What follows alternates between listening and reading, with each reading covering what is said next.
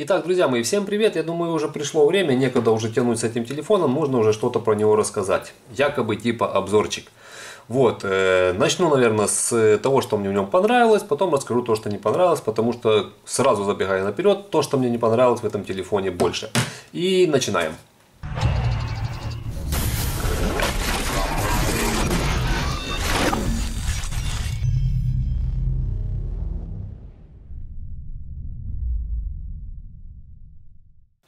Итак, что мы получаем за 120 долларов? По крайней мере, покупал ее за 120 долларов. Значит, получаем мы вполне, в принципе, неплохо так нашпигованный телефончик. Он у нас здесь 5,5 дюймовый экранчик, Full HD разрешение. Экран довольно-таки неплохой, смотрится неплохо, но хотя под углами немножко теряется не то чтобы картинка, но теряется цвета. И это нормально, в принципе, это нормально, это во всех телефонах так. Вот, э, пластиковая крышка, сбоку у нас типа алюминиевые вставочки, с правой стороны находится комбинированный слот под две сим-карты, либо сим-карту и расширение карт, карта расширения памяти, качелька регулировки громкости и э, кнопка включения и разблокировки. Все это выполнено из алюминия, металл, не знаю, в общем что-то металлическое. Снизу у нас находится два отверстия под динамики. Динамик находится примерно с правой стороны, но в принципе ведет себя неплохо. Динамик также неплохой. Вы видели в распаковке, кто не смотрел, можете посмотреть. Я его включал. Ну, звук, скажем так, нормальный, нормальный. Микрофончик здесь и здесь у нас микро-USB разъем для зарядки. Левая грань полностью пустая, сверху у нас находится только слот, э, разъем 3,5 мм джек для подключения наушников. На задней панели у нас э, камера, как указывается 16 мегапикселей, вспышка и сканер. Здесь же находится дополнительный микрофончик для шумоподавления. Вот, э, три кнопочки сенсорные, сверху у нас еще одна камера, как заверяет э, наш уважаемый китайский продавец либо производитель 8 мегапикселей, конечно же это не так, и сверху уже находятся датчики. Вот, э, значит, что по телефону? Имеем мы неплохие характеристики, все тесты, кстати, я вставлю в конце этого видео. 3 гигабайта оперативной памяти, процессор 8-ядерный 6753 от Mediatek, работающий на тактовой частоте 1300 МГц, ну, скажем так, казалось бы, должно быть вообще обалденно работать. И в Antutu тесты показывают 37 с чем-то там тысяч э, баллов. Но вся фишка в том, что с этим у нас возникают уже совсем другие вопросы. К этому мы сейчас вернемся. Вот. Э, пока рассказываю то, что мне нравится. Как я уже сказал, это экран. А, что еще? Еще батарея. Батарея, в принципе, держит неплохо, то есть двое суток можете пользоваться телефоном, ну, если, конечно, особо не нагружать. Если вы не будете постоянно сидеть на каких-то игрушках, либо смотреть беспрерывно видео на полной яркости, то нормально. Вот, э, Android 5.1 у нас здесь стоит. И, как я уже сказал, довольно-таки по характеристикам своим телефон интересный позвонить, посмотреть какие-то видосы, там, э, покрутить его, ну, нормально. GPS, кстати, работает тоже неплохо. И с качеством связи проблем никаких нет. Э, сим-карты ставил, проверял, микрофон, слышно меня хорошо, и э, я также слышу, то есть нормально. Этот динамик тоже работает неплохо. Вот, теперь переходим к самому интересному. Что же с этим телефоном? Почему такой телефон с такими характеристиками стоит всего 120 долларов? Согласитесь, это неплохо имея 3 гигабайта оперативки, неплохой процессор, э, графический адаптер Mali T720, тоже, казалось бы, неплохо. Но фишка в том, что телефон почему-то ведет себя, ну, скажем так, мягко говоря, ненормально. Я сейчас буду его критиковать. Можете начинать ставить дизлайки, как э, в телефоне про дуги какой там X5, который я раскритиковал, там половина лайков, половина дизлайков, многие не согласились. Это мое мнение, вы можете с ним не соглашаться. Я еще раз просто опять же, убеждаюсь в том, что пока, пока вот все телефоны Дуги, которые у меня были, э, я этот покупал, надеясь на то, что этот будет чем-то отличаться, и что он действительно неплохой, характеристики внушительные. Фокус. Так.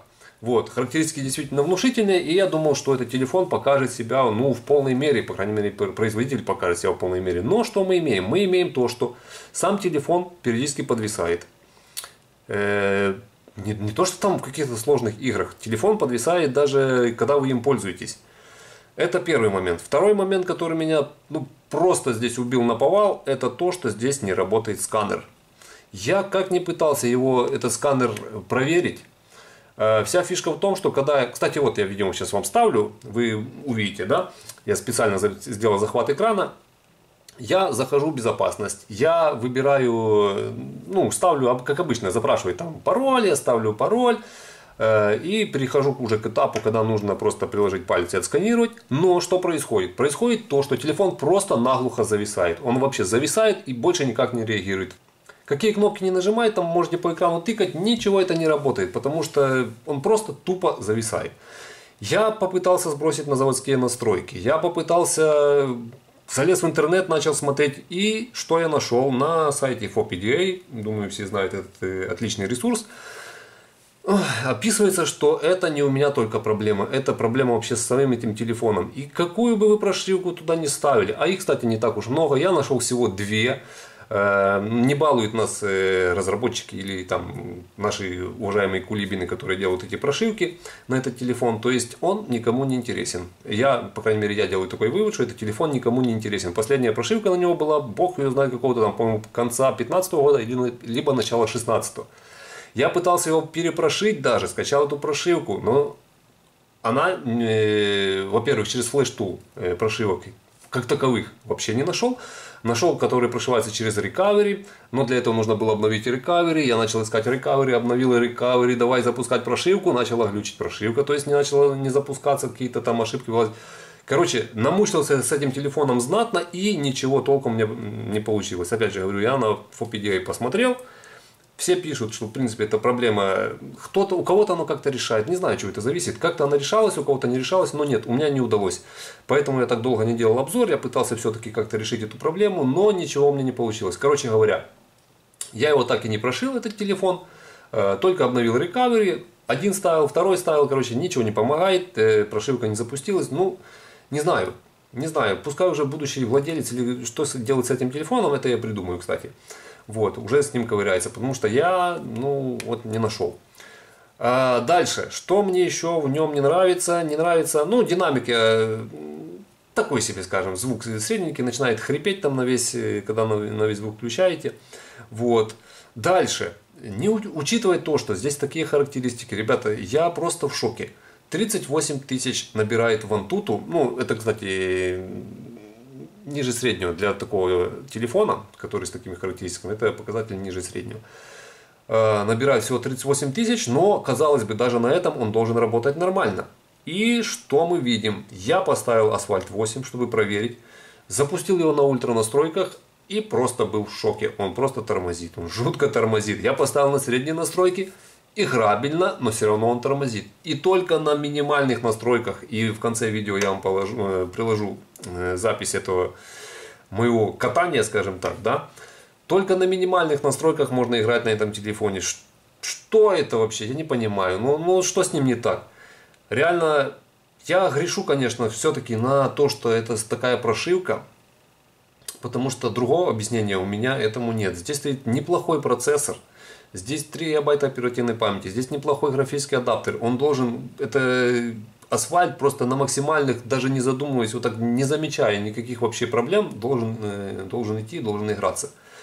Поэтому я, скорее всего, грешу на эту прошивку. Хотя, э, опять же, когда я последний раз заходил на, по ссылке, посмотреть, думаю, что ж там у продавца такого написано, может почитаю что-нибудь поподробнее или там с продавцом как-то свяжусь. Я захожу на эту ссылочку, а телефона уже нет. То есть после того, как я его купил, там может еще пару штук было, эти телефоны пропали. Я так подозреваю, что их больше, наверное, не будет. Серия все-таки, ну, скажем, мягко говоря, не очень. Никакой поддержки по этим телефонам нет, никаких прошивок не выпускается. Есть обновление по WhatsApp, которое пишет, что, э, вот я вам покажу сейчас, э, что я пользуюсь последней версией. И это обновление еще за декабрь не, не за декабрь, это вру, за июнь 2016 года последнее обновление какое-то было. Э, где у нас обновление? О телефоне, обновление ПК, ой, ПО. Вот, поиск обновлений.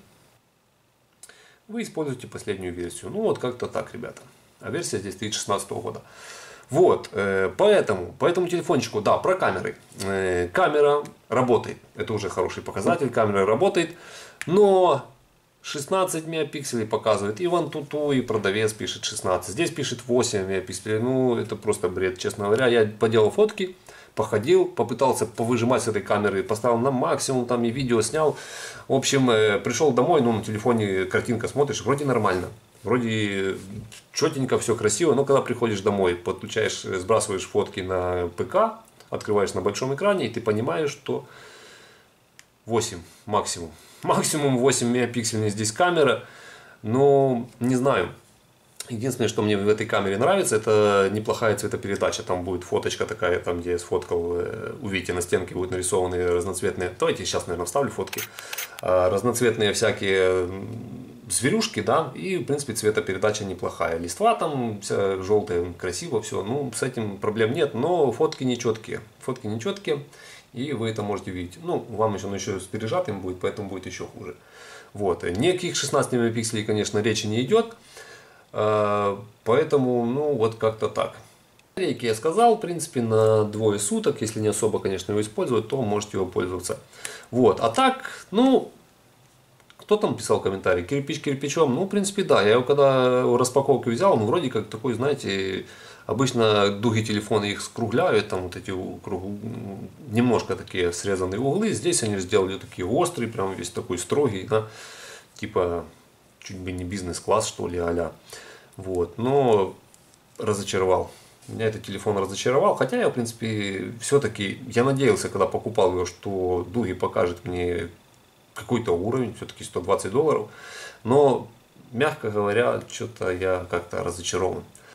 Вот, ребята, давайте дальше, наверное, уже не буду я больше про него ничего рассказывать. Вот, в целом телефон, если звонить, ходить, смотреть видео, там, посерфить в интернете, с этим никаких проблем не будет вообще. GPS подключить, там, навигатор забросить. Нормально, будет работать. Ну, в принципе, он покрывает, скажем, 80% потребностей да, обычного телефона. Если же вы любите на телефоне зайти, там какие-то игрушки покатать, там еще что-то, то, ребята, вам нужно будет все-таки искать какую-то прошивку, искать какого-то кулибина, который придумал ее, и шить этот телефон. По-другому, я, опять же, грешу только на прошивку, потому что по железу здесь у меня вопросов нет. Поэтому вопрос только к прошивке. Да, еще по поводу чего, языки. Здесь плохо переведено меню. меню. А, как видите, много непереведенных у нас вот, например, даже настройки сканера и так далее, и так далее, и так далее. Много неприведенных меню. То есть э, сама прошивка, само обновление, оно не поддерживается никак. Вот. Ну, давайте, наверное, теперь заключение. Что заключение? Что понравилось, не понравилось? Понравилось то, что, в принципе, неплохой экран, сносный, Full HD разрешение. Э, мультитач, кстати, на 5 касаний. Э, неплохие результаты в тестах он выдает, этот телефон. Не понравилось, как я уже сказал, что несмотря на эти результаты, телефон себя ведет очень-очень отвратительно.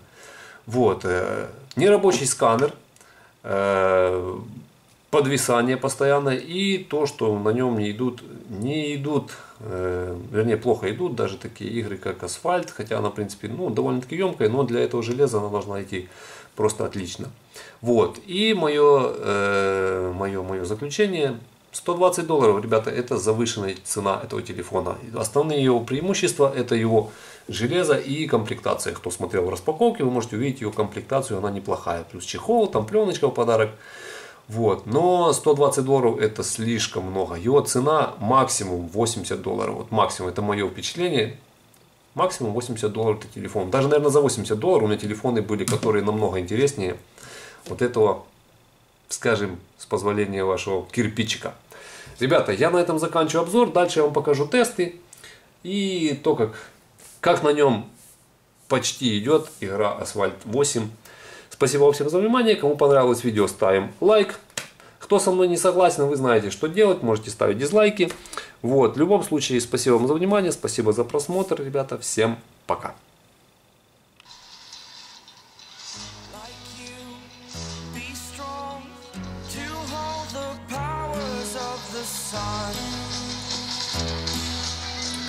Боже, как же долго он загружается, а? Ну, покажи нам, что ты можешь.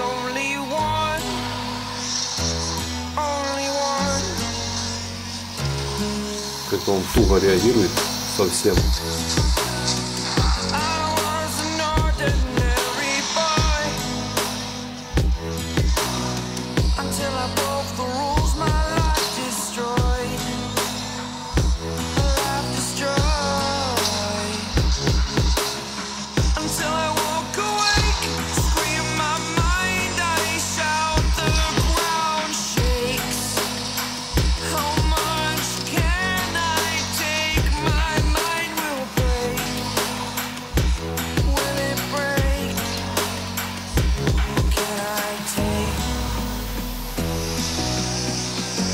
Открываю динамик. Короче, как-то он очень, очень туго и медленно реагирует на поворот.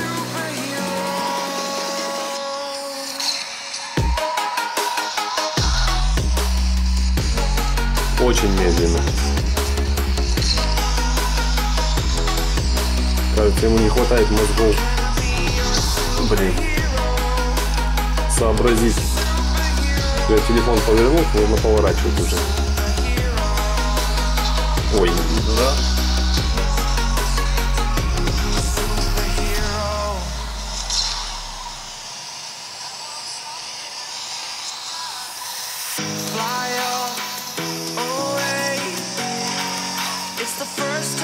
Подвис.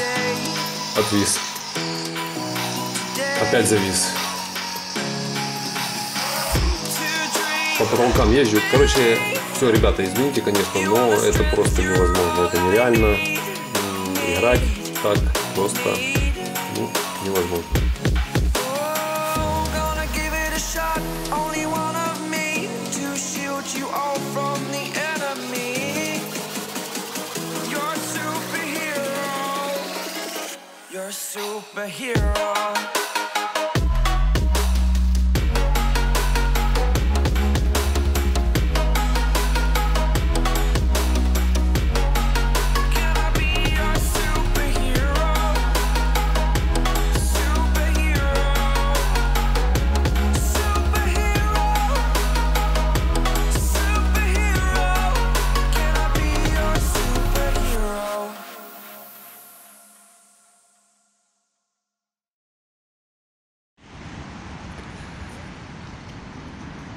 Телефон Дуги F5. Съемка при максимально возможном качестве.